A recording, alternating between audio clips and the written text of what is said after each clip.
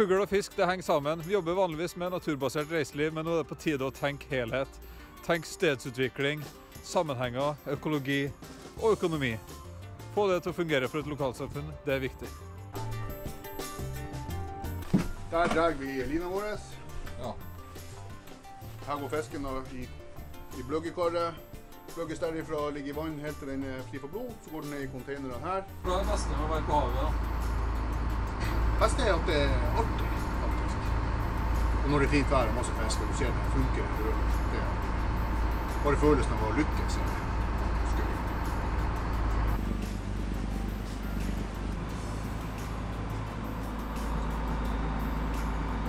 Da er vi i Vardø, på vei ut mot Storhavet, på vei nordover. Den retningen er Nordpolen neste. Der har vi Hornøya fuglefjell. Når kystflåten representerer de aller beste og mest effektive måtene å hente inn kvalitetsmat på, da burde det gå an å leve av det her i hele Kyst-Norge.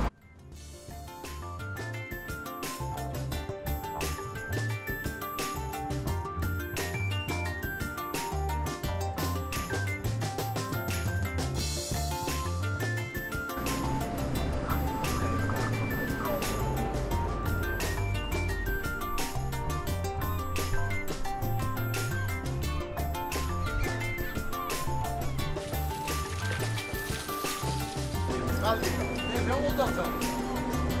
Det her er Vardø-satt.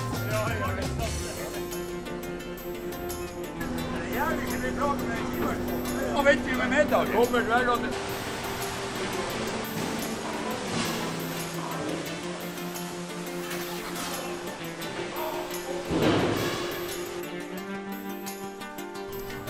Så fint.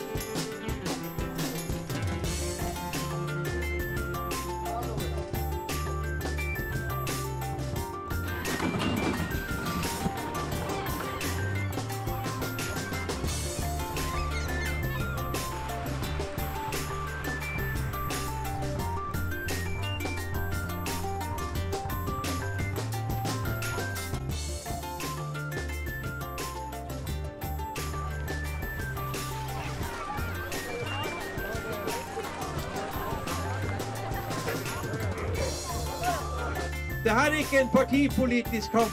Det her er en kamp for kysten.